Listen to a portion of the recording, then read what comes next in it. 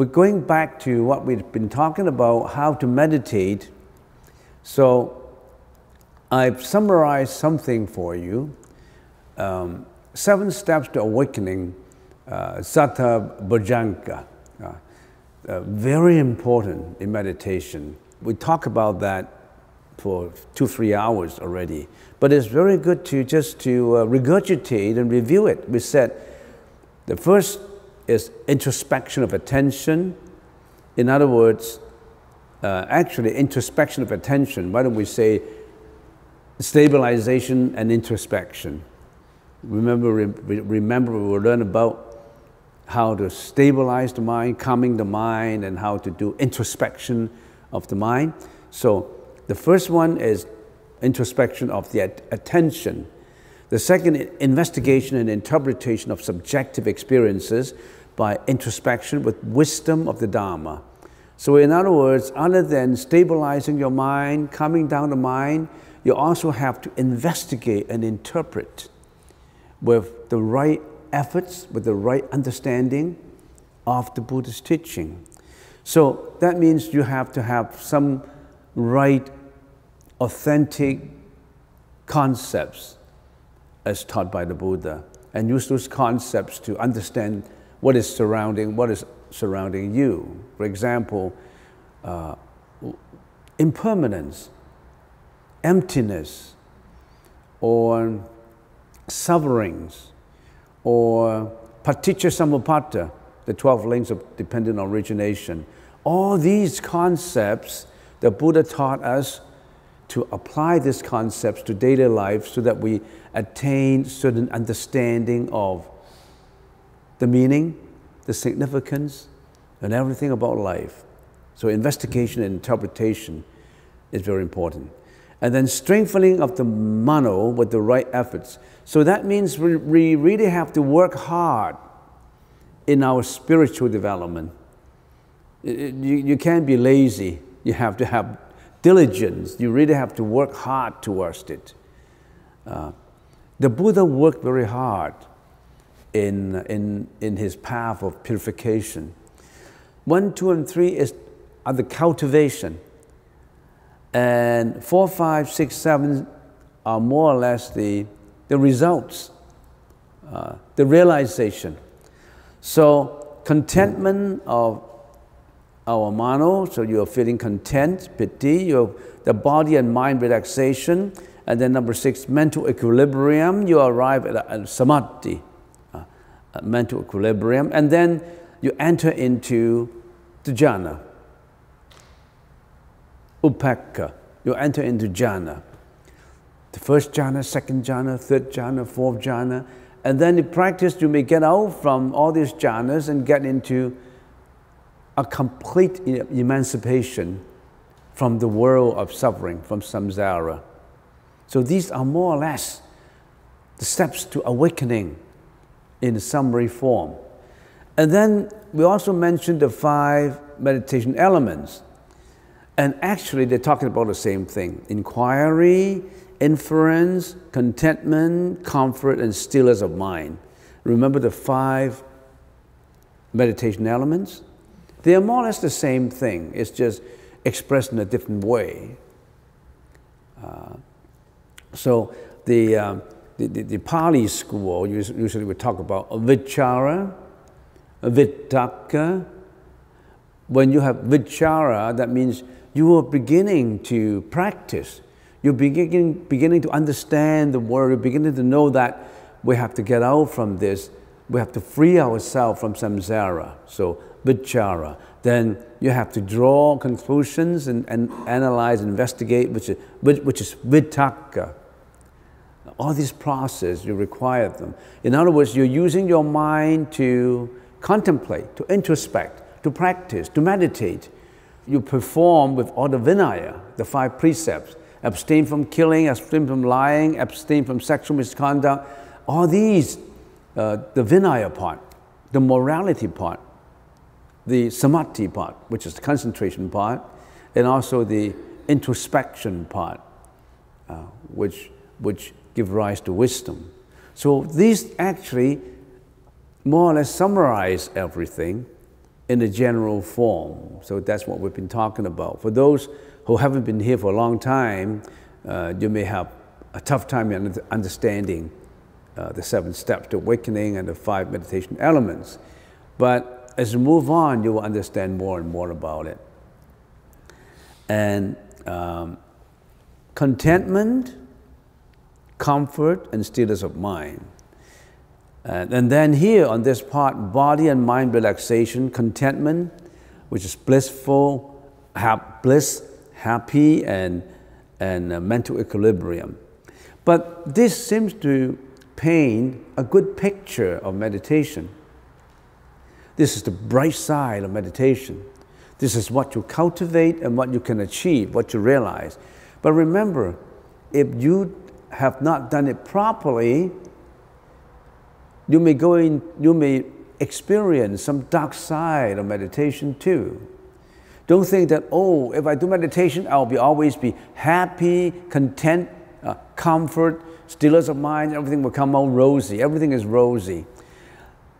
This is an imperfect world. Whatever you're doing, there's always uh, the pros and cons of it.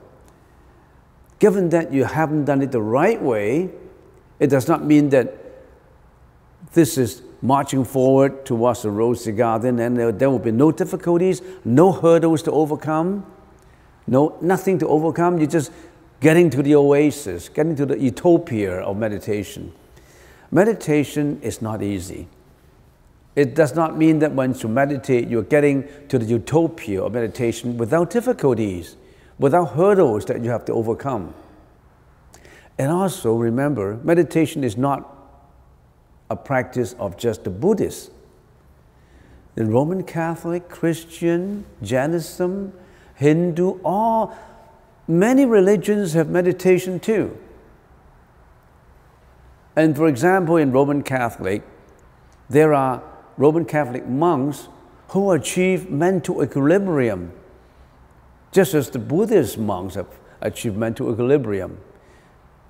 Sometimes I've heard stories that you go to Europe, you go to the mountains, and, and there were Roman Catholic priests doing meditation in there.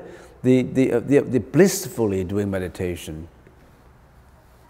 And, and of course, there are many hurdles that you have to overcome. And when, when they also mention in their books about the hurdles that they have to overcome.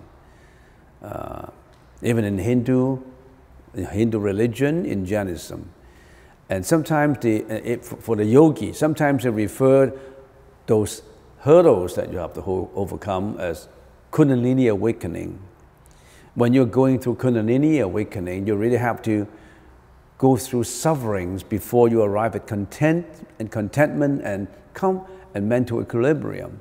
If you didn't get the right teacher or the right way, you could come up with hurdles. Uh, Kundalini syndromes. You may, you may going through a cleaning process that is too, too um, overpowering for you. So you're going to watch out.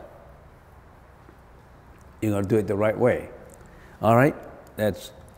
We've been talking about meditation. The, so we know that it's stabilization, introspection, to classify into two parts. And in stabilization, we have counting, following, and stabilization that or calming we have been talking about for many, many hours. Each one of these have two parts. The one is cultivation, the second is realization. In other words, how to cultivate counting.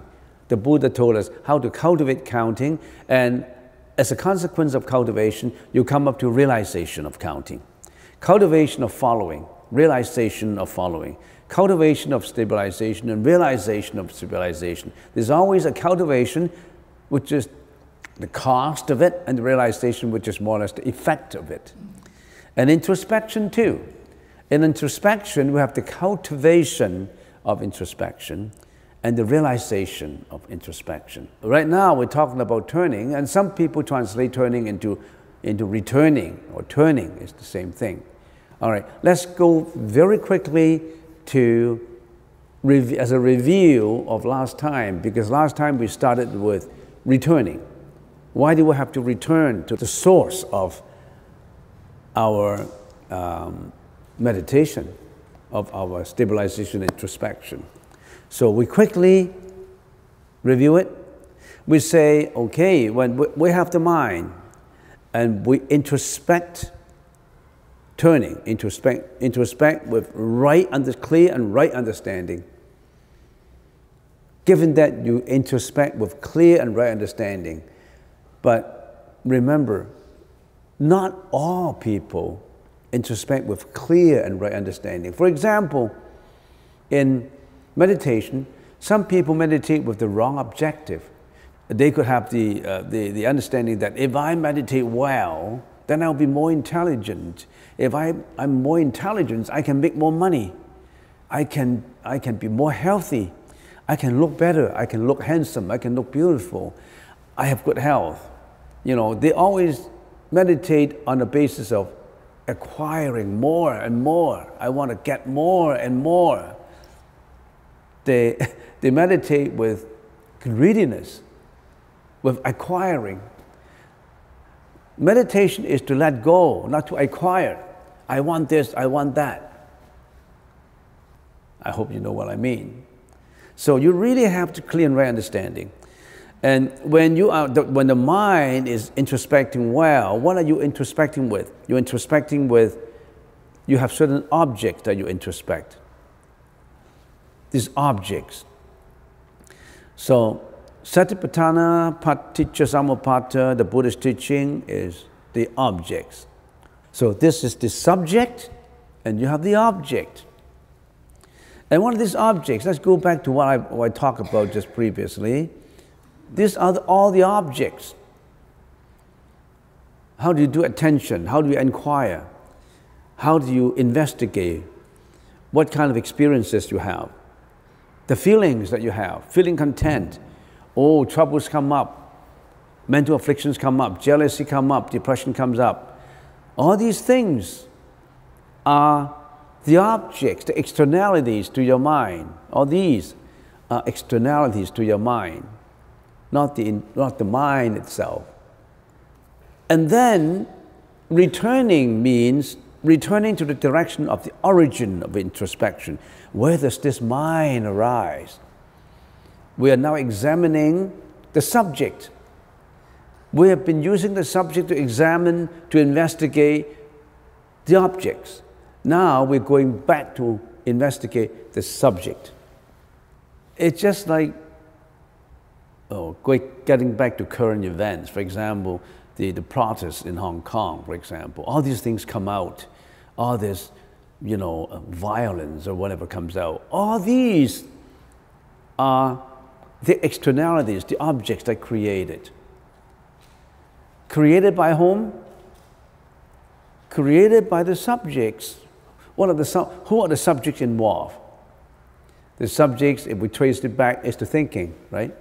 And then we say, let us examine not just the protests, not just the people, not just the violence, not just the shooting, not just the, uh, the, the bloodshed. Let's get back to what causes this? What's the mind that caused all this? Getting back to examine. People just examine the objects all the time. I hate this protest. It gives me inconvenience. I hate these people. I love these people. They're not getting back to the source. But right now, the Buddha said, returning now, we've been using the, I'll be the subject to, we, we put through all these things, we arrive at certain conclusions, we have quiet, we have equilibrium of mind. Now, let's, let's returning to where does this mind come from? One should return to the source of one's introspection so that one now introspects not only the concepts, not only the, the depression, not only the mental afflictions, but the very mind that is engaged in the introspection. The very mind, the very mind that engages in the introspection. Well, let's continue then. Then we'll get to the cultivation of returning. I've already gone into detail last time, I'm just reviewing. Since one introspects from the mind, one should now return to the direction of the origin of the mind, to introspect the very mind that is engaged and introspection. What causes this? Where does this come from? The mind that engages in the introspection, from where does it arise? From where does it arise? I talk about it. You will have two probabilities. The one is it arises from a mind involved in introspection, or it arises from a mind not involved in introspection. There are only two possibilities. This mind comes from a mind already involved in introspection. It develops into this. Or, no, it's from a mind not, in, not involved in introspection. Only two possibilities, right? Either yes, it is from a mind involved in introspection, or no, it is not involved, involved in a mind in introspection. And then we say, okay, let's examine the first one. If it is from a mind involved in introspection, if this is true, there must have been a pre-existing introspection process already underway that, that now carries forward. But in this present situation, this is not the case, as there was not yet anything immediately preceding, counting, following, and stabilization that was identifiable with this introspection process. Remember, we have the stabilization, we have counting, following, stabilization. If it is in from a mind that's already involved in introspection, we should have something before counting, following, and stabilization, that is introspection. It's just like, how can there be a son without the development of a father? A father develops, gradually develops into a son. But in this case, there's no pre existing introspection other than the introspection that is giving rise to it right now. So it is not true. From a mind it cannot be from a mind involved in introspection. Conclusion is the introspection thought arose from a mind involved in introspection is not true. And then we say, how about a second probability? It arises from the mind not involved in introspection. Uh, this possibility, we can see two other probabilities now. One probability is is it the case that the, the mind not involved in introspection generated it when that non-introspection thought had already ceased? Or is from a non-introspection thought that had not ceased? We're talking about logic now. And then we say, okay, let's examine the first one. Uh, it arises from a non-introspection thought that had already ceased. But we say if one maintains that it was generated by a Dharma which already ceased to exist, one should realize that if it ceased to exist, how can, if something already vanished logically, how can it come back again? Of course, the thought will come back, but I'm talking about introspection thought. It already ceased. If something ceased, it cannot come back. And then we say, if it had not yet ceased, from this would be a case of two thoughts existing simultaneously, which is unapprehensible. How can something cease and something not cease? For example, a good and bad thought mixed together and coming together at the same time. Good is good, bad is bad. Right? Of course, the opinion is something good can be bad, something bad can be good. That's, that's not the logic. That's not what we're talking about now. You're not using logic to talk about it. You cannot have two thoughts existing simultaneously, which is then which thought dominates? There's no such thing as two thoughts existing simultaneously because you're contradicting the law of the law of non-contradiction. A good thought and a, and a bad thought exist as one thought at the same time. They conflict each other. You are violating the law of non-contradiction. And we're not getting into details in this. We just re, uh, review it. If it is the, if it's the, that thought that has the characteristic of neither ceased or not ceased, it is all untrue. It violates the law of non-contradiction. And then we said the conclusion is the introspection thought arose from a mind not involved in introspection is not true. So it is not from a mind non-introspection thought that, that uh, had ceased, and it's not right that it's from a mind, and non-introspection thought that has not ceased. Both is not true. So we have a conclusion. The introspective mind was originally unproduced, unborn, uncaused. Because it was unproduced, it does not exist. So, because it does not exist, it is empty, devoid of inherent existence. Because it is empty, there is no mind engaged in the process of introspection. It's not an entity, it's an activity. If there is no mind, how could there be any external object which serves as the object of introspection? If there is no mind, how can there be external objects? How can there be actual inherent existence of external object if there's no inherent existence of an entity that's called mind? So this vanishing of both the objective externality and the mind is the meditative process of returning to the source. This is the cultivation of returning. So the conclusion is there's no such thing as the mind. You understand what I'm talking about? There's no such thing as mind. Now, if you don't understand this logical reasoning, well, let's get back to something very simple. What is this body made up of? What is, what, what is I make up of? I. Make up of the body and the mind, right? You are made up of the body and the mind. Let's put the body aside and talk about the mind. When we talk about the mind, we say the mind has a time concept. It's either a mind of thoughts, right? Thoughts the past thoughts, the present thought, and the future thought. That's what the mind is. The mind is involved with the time concept. My mind, now, my, mind, my thought comes up now my thought came up yesterday. So there was a past, present, and the future in the mind, right? All those that happened in the past, they will not, you cannot bring them back again. So the past are gone. Can you bring back what happened in the past? Can you bring back yesterday's what happened yesterday? Of course, you can repeat your thought. Yesterday I was angry, now I'm angry. You're just repeating a thought now.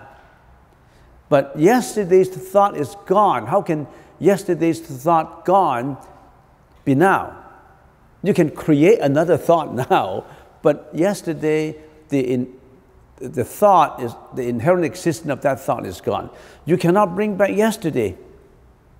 Yesterday is gone. So there's no such thing as yesterday, a time concept of yesterday, because it's gone. It's just a time dimension in your mind. And how about a future thought? The future thought has not come. How, come, how can there be a future thought? The future has not come yet. Can you bring the future into now? You always worry about the future only. You worry about the future but you cannot bring the future onto the present. And then you say, there must be a present. I'm existing now. I'm existing now. But you know that every thought, even every sentence you utter, became a past. Every sentence you utter now became a past. There is actually no present. Because every minute now, when it happened, it became past. How can you grab onto the present? So there's no past, no present, and no future. There's no past thought, no present thought, and no future. Do you understand? So there's no such thing as my mind existing. How about a body? My body exists, right? But the existence of the body is a whole combination of all causes put together. Then I exist. The existence is existence on causality, on causes. And what is my body? My body is a whole bunch of molecules and elements.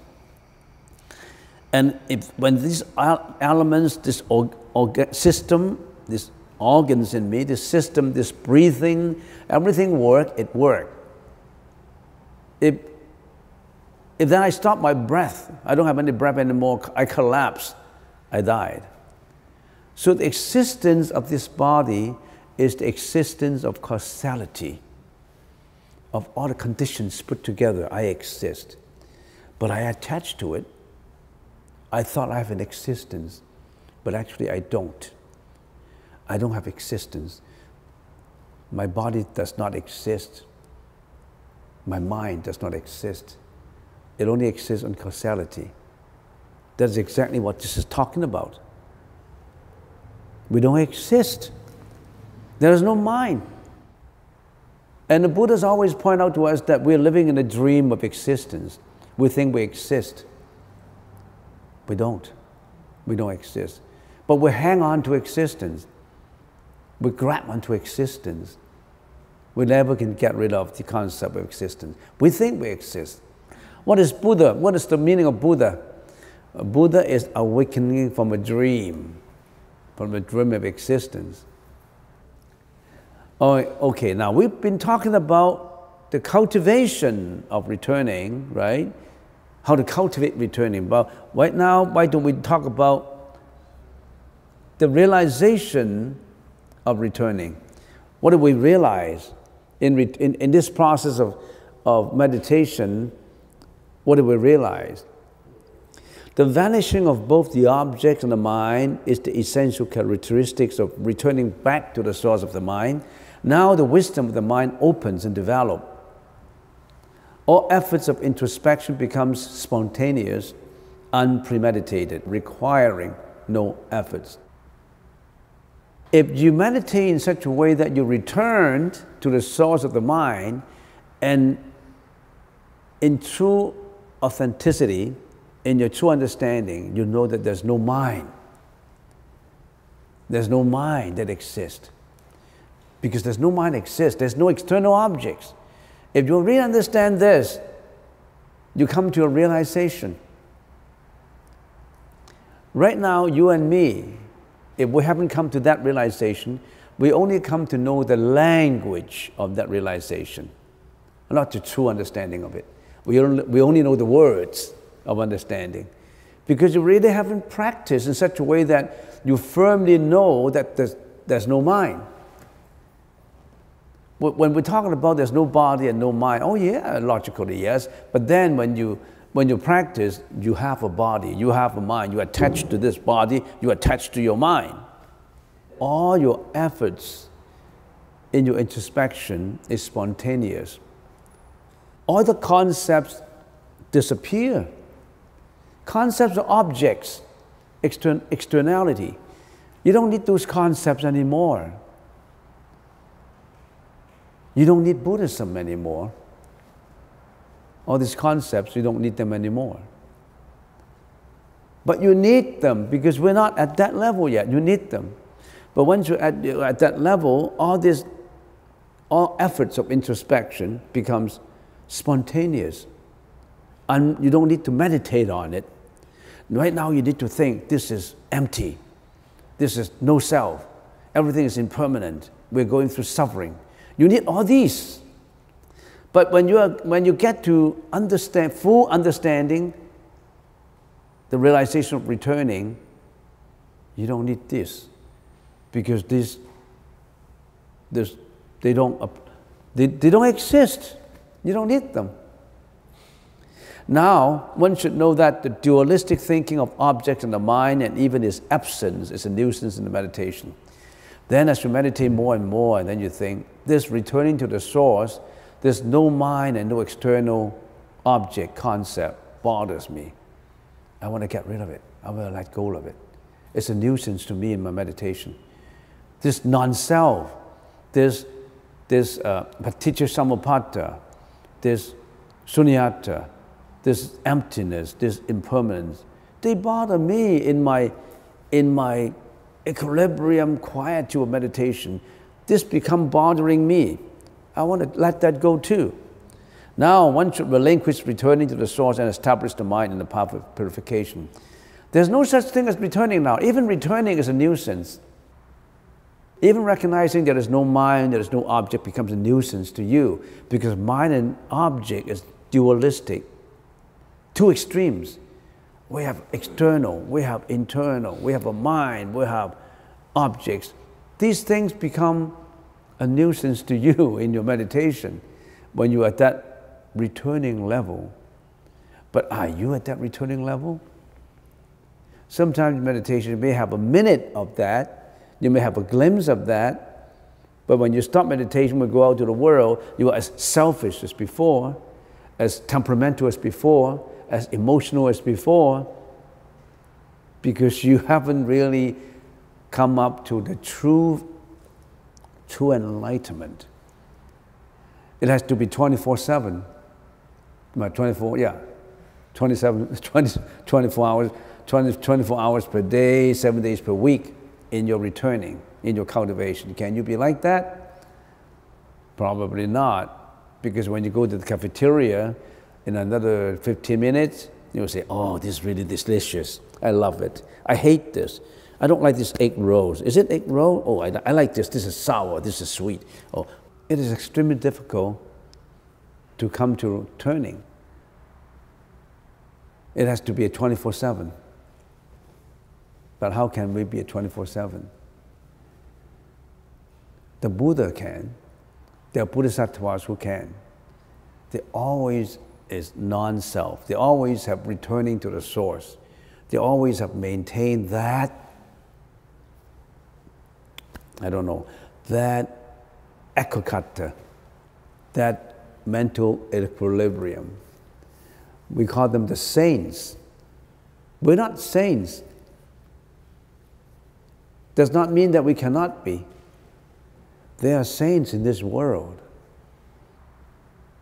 They already have arrived at returning. They realize returning. We only know more or less the meaning of returning in a language form, but not in the Tathagata form. You know, Tathagata form? Not in the authentic form. So, once you realize returning, then you start to you start to go into the path of purification you start to get, rid, you think that this absence is also a nuisance that you have to let go. We can't even let go our simple emotion of jealousy, hatred, greediness, love. We haven't even got rid of that. Not to say this returning. So we're talking about oasis, we're talking about utopia but there are utopias that one can reach. Uh, we are living in an imperfect world, but there's perfection that we can reach. We call that nirvana. And this is the process of going there. And how much you can walk towards there depends on how much efforts you put in. Some people work one lifetime, they work another, another lifetime, another lifetime, many thousands of lifetime, and uh, and then 1,000, 2,600 years ago, there was a Bodhisattva who just had to work one more lifetime and he became the Buddha. And that is Sakyamuni Buddha. He was in Tushita heaven, waiting to be born to this world. He was actually born into this world as Siddhartha Gautama, and he became the Buddha. He worked his last life as a Bodhisattva. And we have a lot of work to do before we can do that. What level you are at? Are you at the counting level, following level, calming the mind completely level? Are you at the um, um, what you call introspection high level. Maybe you're not, we're not at any level. We're in the level of greediness, hatred, jealousy, emotions. Maybe we're still at that level. But we already have developed because we already know the problems. It's good that we know all these problems. It's good that we know that we have to get away from this. A prisoner who was born in prison would never, would never realize freedom, the joy, the bliss of freedom. And then one day he was told, actually, there was freedom outside. And he started to, to work towards it. And how much you can work, I don't know. So, this is the realization of returning. Right now, you and me, we're at the level of using the mind to introspect with clear and right understanding. Given, we have the, given that we have the clear and right understanding, we have been using all these concepts to trying to get into enlightenment. And if we can do that well, that is already a miracle. And, and then the Buddha said, then if you can do that well, you introspect the subject too. Introspect yourself, the, the mind too. How many people can really go back to the source to introspect one's mind? We can, but for how long? When we're meditating, we try to. When we have done something wrong that we want to repent, we want to think about it, maybe we get back to the mind, oh, I shouldn't have done this, oh, this is what causes it. You know, you're getting back to the mind. It's a whole process of, of practice. But knowing, getting back to the mind is already a miracle for us to understand. Some people introspect everything with the wrong mind, they involve in, in a lot of karma. Lying, stealing, all kinds of evil actions all kinds of um, unwholesome deeds, unwholesome thinking. They're not even standing on the ground of introspecting with clear and right understanding.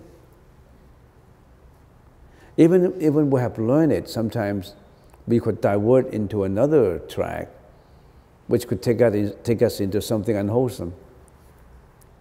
Given that meditation to, can help us to let go help us to arrive at mental equilibrium. The Buddha, 2,600 years ago, already, already know that the world is getting more and more complicated. We're getting more and more into involvement of unwholesome karmic energy.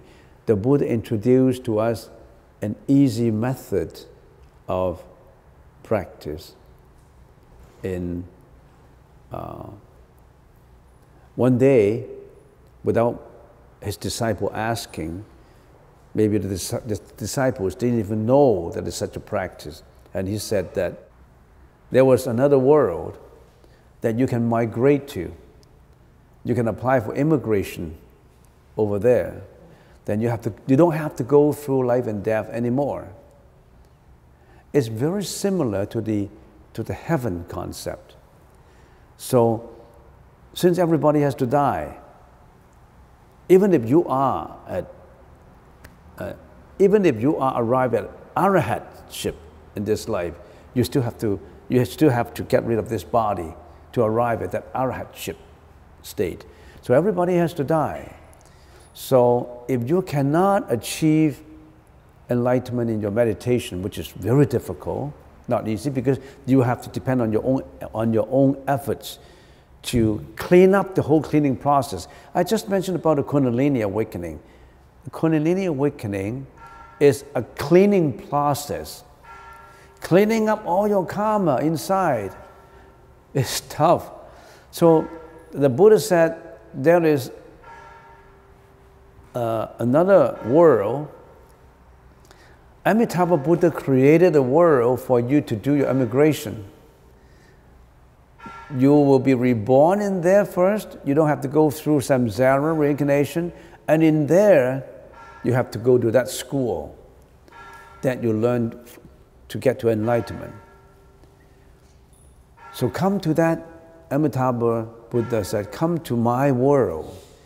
I'm welcoming you to come to my world after you passed out your life and you come to learn in my school. You don't have to go through reincarnation anymore.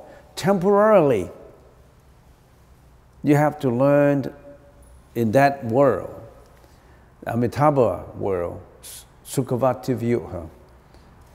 Uh, the Sukhavati Vyuha uh, laid out the details of that world.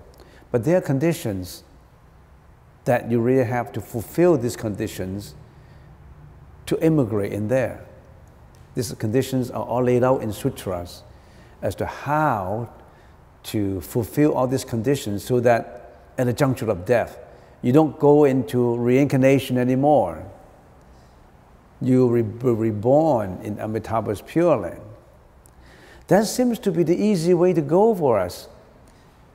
Even all the saints, most of the saints in ancient times said so. For example, um, Vasubandhu, Asanga, um, and Nagarjuna, all those are, are, are saints. They are arahats already.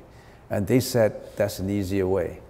You go there first because given all the, the pressure and the tension that you have in this world, you, don't have, you cannot practice 24 hours per day. You can, only, you can only meditate for half an hour and one hour, and you, and you want to be a Buddha, just meditating for one hour and half an hour. So, reborn in this world, in that world. And I've been talking, I think one should really, if, if one practice Buddhism, one should have, take up the mission of telling people who are involved in meditation that it's not easy. We're not saying that you should not practice meditation. We just say it's not easy. Um, because you are depending on your own efforts to clean up all your karmic energy. In order that you become an arahat, or you become a Sotapanna, you become a Sakadagamin or Anagamin.